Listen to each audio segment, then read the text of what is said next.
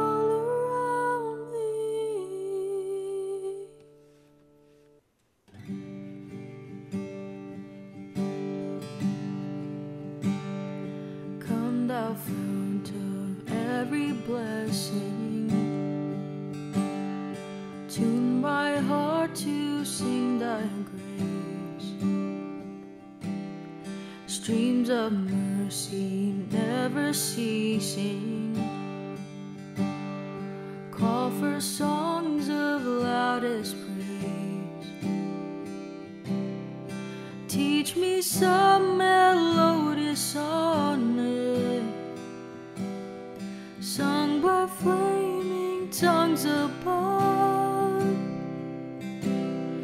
Praise the mountain fixed upon it, Mount of God's redeeming love. Oh, to grace, how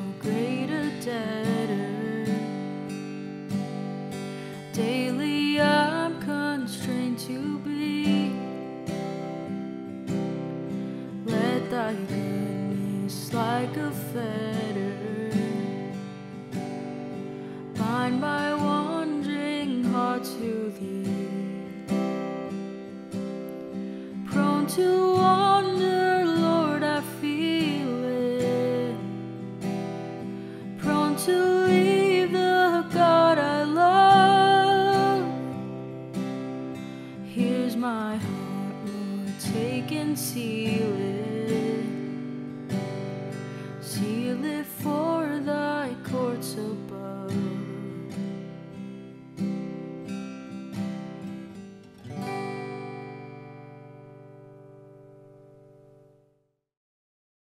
Hey, Spring family, I just thought we'd have a little bit of fun right now, if that wasn't obvious already. And I thought I would read uh, for us, for the family, one of these cool Christmas books, Dinosaur Christmas.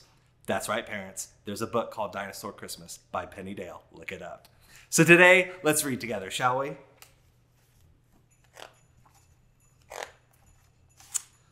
Stuck Santa Claus calling, calling dinosaur rescue. Dinosaur rescue on Christmas Eve. Help! Help!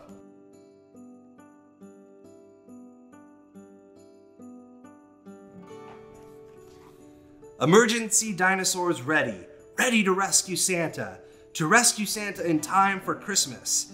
Brum, brum, brum.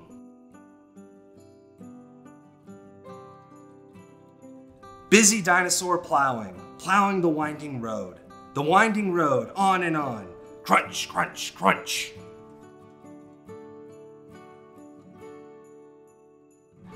Excited dinosaurs whizzing, whizzing on their snowmobiles, on their snowmobiles through the trees. Swish, swish, swish.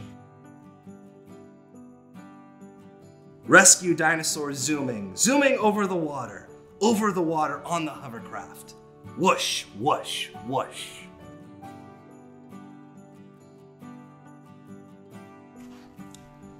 Careful dinosaur searching, searching for Santa's house. Santa's house? There, down the hill. Chugga, chugga, chugga, chugga, chugga.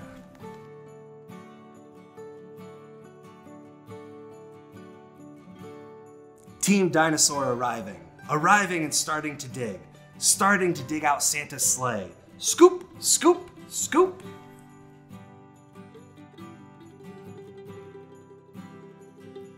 Dinosaur's tractor towing, towing Santa's sleigh.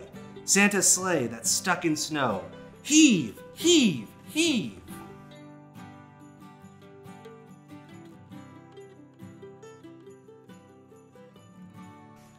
Helicopter dinosaurs lowering, lowering down the presents. The presents to put in Santa's sleigh. Choppa, choppa, choppa.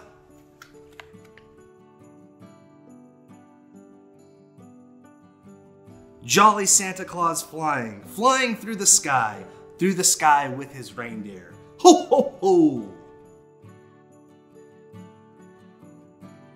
Joyful dinosaurs playing, playing and getting ready, getting ready for Christmas Day.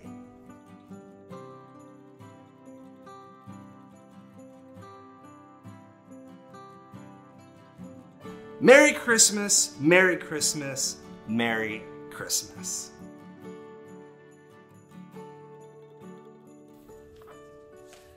Hey, thanks for reading that story with me. We love to have fun and celebrate Christmas. But on a serious note, it is about the birth of Jesus and the greatest gift that God has given this world ever. And so we have a special message to play for you, for the family, for your kids. And you can check that out by clicking on the link in the description. And it would be a lesson that we would normally do at church. It's with Connect. So I hope you enjoy and have a wonderful day.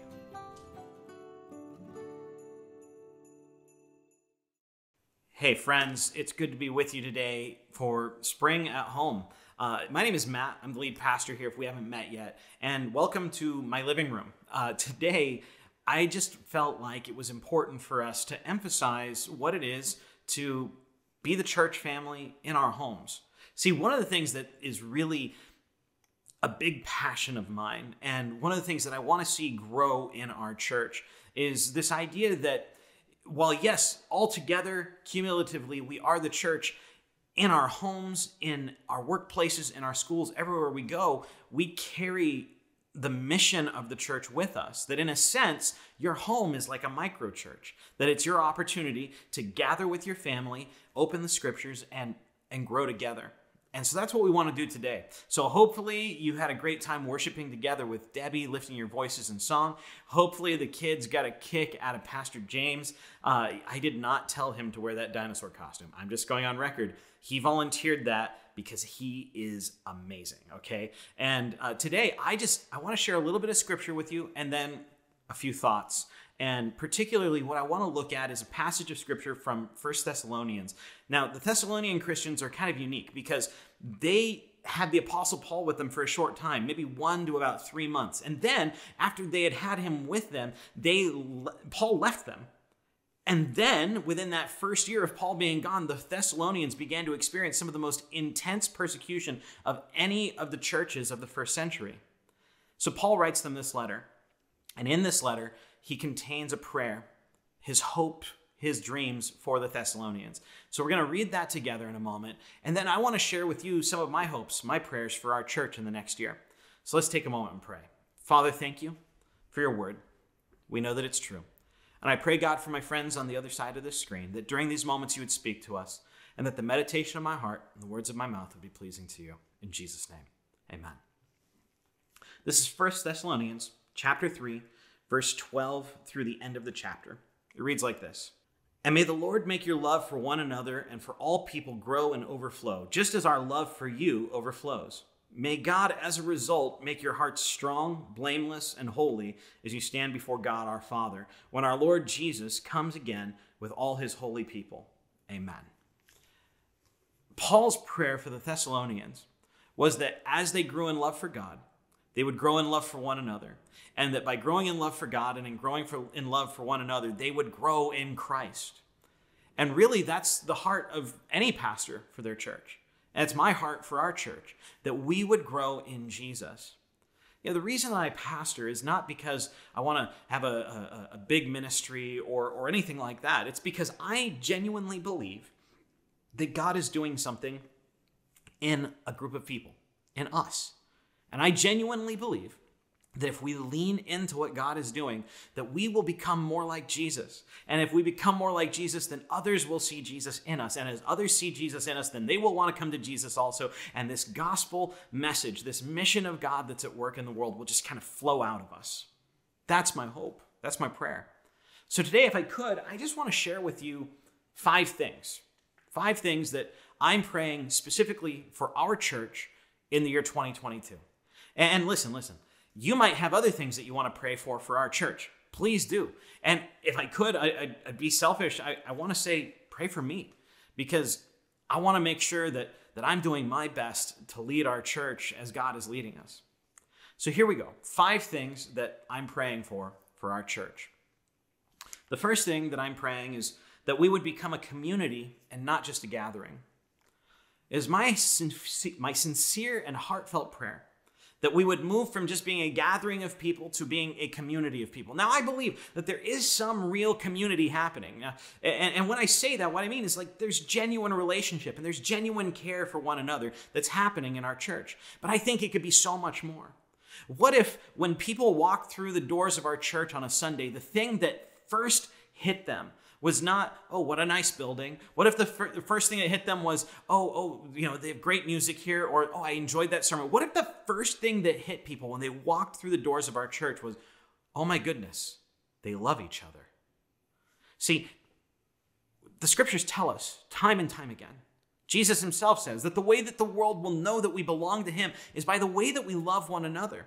And that has to be more than like the traditional superficial church thing that we do to say we love each other. You know, bless your heart, brother. Bless you, sister. Like, no, no, no. It's got to go deeper than that. We have to actually care about each other. The only way to deeply love someone is to get involved in their life. What if the people that sit in front of you in church went from being the people that sit in front of you in church to the people that you have lunch with after church? And what if what if the what if the people that that, that, that you know sit in your row at church were more than just people that sit in your row, but all of a sudden you started to actually see them as brothers and sisters? My prayer for our church is that this year we we move from just being a gathering of people to a community of people. And there's a big reason for that. Which leads to the second thing that I'm praying for this year. The second thing that I'm praying for this year is that, that while we grow in community, while we grow and care for one another, we would keep our arms open to the newcomer. We keep our arms open to the, the person that comes through our doors that we've never met before, or the person that we have met before, and we just think, oh, what are they doing in my church? My sincere prayer is that as we grow in love for one another, we don't become a closed circle but instead we become an open embrace. That as we grow in community together, we become a place for those that are seeking truth. We become a place for those that are seeking genuine relationship, a place for those that are seeking love and compassion. My prayer is that any person that comes into our church for the first time would have this amazing experience of the love of Jesus that would transform their lives. That when they experience our community, it would be like they were experiencing the presence of God because that's what it truly is to grow in community. You know, the scriptures do teach us that God is love. And I have this theory about that. See, love only works in the context of relationship, right? You, you can't have love without someone to love. And I just have this genuine, heartfelt belief that if the Spirit of God is in me, and the Spirit of God is in you, then the Spirit of love is in me, and the Spirit of love is in you. And the love that we would share for one another should become so palpable that that's what we would call the presence of God. And that should draw people in. That the Spirit of God in me reacting to the Spirit of God in you would be this reaction of love that's explosive and, and transformative and, and invites people into something grander. I really believe with all my heart that God has called us to reach our communities, to reach our neighborhoods, to, to reach the cities that we're in, to, to reach those friends that you have across the country through our online platform. And if that's the case, then we can't just grow in community and, and just say it's just about us and what we like. We really love this church the way it is. But instead, we have to have an open embrace that says, Welcome to all who would come. The third thing that I'm praying for our church this year is that we would allow Jesus to form us through his word and his spirit. My genuine, heartfelt prayer for us is that we would allow Jesus to form us through his word and through his spirit. Here's what that means. Sometimes we can be in church for a long time and, and we can have our doctrine figured out, and we can have our theology figured out, we can have all the right answers for things, right? Except that that doesn't necessarily translate into a deepening relationship with God. And it doesn't necessarily translate into a deepening maturity in Christ. You want to grow in Jesus, then you have to allow His Spirit and His Word to form you and transform you. It means that, that you have to move beyond just having the right answers to genuinely surrendering to the one and only answer. See, sometimes we get so comfortable with the idea of what it is to be a Christian that we forget that being a Christian is living out this continual lifestyle where we're letting our lives go, being crucified with Christ, dying to ourselves, denying ourselves, so that we could become more like Him. You want to be like Jesus? You have to allow the Spirit of God and His Word to form you. You have to allow the scriptures to be the things that, that inform your life more than, than your opinions, more than your politics, more than your ideology, more than anything else. You have to allow the Word of God to be the truth that anchors your life. And it's the Spirit of God that brings the Word of God to life in us and, and begins to reveal to us something new, something fresh. Allow Jesus to form you. That's the next thing I'm praying for each of us. That's what I pray for myself. That's what I'm praying for you that we would be formed more and more like Jesus, not just church people, but people becoming more and more like Jesus each day. The fourth thing that I'm praying for this year is that we would each begin to find our role in the Missio Dei. If, you, if you've listened to my, my, my series on Christmas this year, these last four weeks, we've been talking about the Missio Dei, this idea that God has a mission in the world. And I believe with all my heart that you have a role in that. That it's not just for people like me, professional Christians, to do. I mean, that's such a weird paradigm that I live in. I'm like a professional Christian. I tell people what I do for a living, and they instantly know, or at least have an idea about what my worldview is and, and, and what my basic theology is. But what about you? What's your role in God's mission in the world? What is God specifically calling you to do? Is there something within our church that He's leading you into? Maybe he, He's calling you to help with our kids or our youth, or maybe He's calling you to help start another small group, or maybe you're going to be somebody that helps to, to start a new micro church in your home and you're going to gather your neighbors together around our online service and you're going to become the pastor of your street. Listen, every single one of us has a role to play. Maybe God's calling you to pray for this church more. I believe that we're supposed to be a people of prayer. Maybe that's something He's leading you into. What is the role that God is calling you into in the Missio Dei? Because you have a part to play. Every single one of us. None of us get off the hook for being too old, too young, too this or too that. Every single one of us has a part to play. It is a core value of our church that we are all in this together that how we all are doing is how our church is doing. So, what are you doing? What's Jesus calling you to do? Allow his spirit to form that missio dei in you. The fifth thing that I'm praying for, and, and listen, it's the fifth thing, it's not the last thing. But this is the fifth thing on this list, and it's the last thing on this list. But it's not the last thing I'm praying for for our church, but, but it is the, the last thing we're going to talk about today. It's simply this that we would embrace the old new. Let me explain that. I want us to embrace the old new. I've been saying it for two years now, and I will still say it. I believe God is doing something brand new in our church. And when I say he's doing something brand new in our church, what I believe is that he's doing something our church has never experienced before. But I also believe it's something very old. Because God is only ever really doing one thing in the world. There is one pattern that God works through in the world constantly, over and over and over and over again. Here's the pattern death and resurrection. Death and resurrection. Death and resurrection. Sometimes we like to think of it this way sowing and reaping. Sowing and reaping. Jesus himself said it. He said, he said that if a, a, a, kernel of wheat falls to the ground and it dies, it abides by itself. But if it dies and rises into new life, then it abides by the will of God.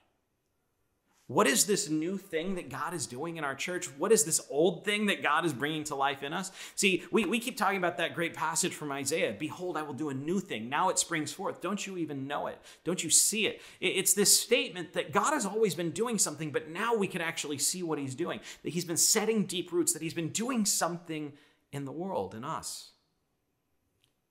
Here's what I believe I believe that God is doing something unique in our church. I believe he's doing something unique in every church. But I believe the unique thing he's doing in us is retraining us to be the kind of people that can reach our communities. I think he's igniting a new spark in us to be the kind of people that, that, that bring in those that need to hear the message of Jesus. I believe he is strategically positioning us and equipping us to reach the Coachella Valley. Not just Desert Hot Springs, not just Cathedral City, but I believe there could be this network of micro churches where people are meeting in homes all across our valley, all gathering around one thing Christ crucified, Christ risen, Christ in you, Christ in me. I believe that's what he's calling us to. My genuine prayer is that we would embrace that old new that, that we would embrace that old work that God has always been doing, that He's trying to bring new life and redemption into the world, but that new work, that He's doing it in us in a fresh way.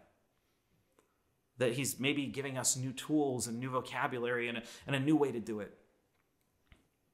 My prayer is that we would do it together. Because honestly, that's what has to happen. It can't just be up to me. It can't just be up to James. It can't just be up to Debbie. It has to be all of us. And we could do that. So let's take a moment and pray. I want to pray that God would do something miraculous in each of us today, that His Holy Spirit would speak to us in a unique way, setting us on a trajectory for this next year. Should Jesus tarry and not come this year, how can we make His name great in our communities? I'm with you. I want Jesus to come back soon. But also, until he does, I want to tell as many people about him as I can. And my hope and prayer is that we would all do that together.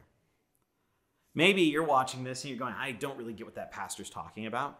Um, but there's this thing stirring inside of me right now that's saying, you know what? Um, if God really is at work in the world and Jesus really is the one that rose from the dead, the way that that pastor is talking about, then maybe I need to be a part of that. Listen, if you want to give your life to Jesus today, I want you to do that. It's as easy as ABC.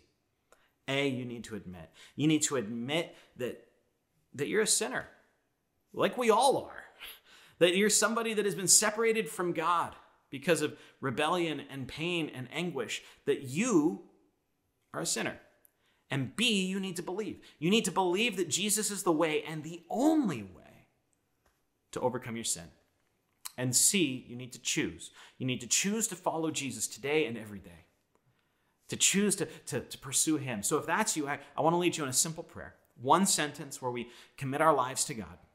And wherever you're at, I want you to pray it, and I want you to pray it out loud. Pray this with me Jesus, I give you my life. See, it's a simple prayer. Jesus, I give you my life. If you prayed that for the first time, or maybe the first time in a long time, do us a favor. Uh, you can drop into the comments, send us a direct message, or text the word follow, F O L L O W, to the number that's on the screen right now. And when you do, one of our pastors will get in touch with you. We want to take the next steps with you as we follow Jesus together. But right now, I want to take a moment and pray. I want to pray that, that we would all together know what it is to experience the love of God growing in us for one another and for our world.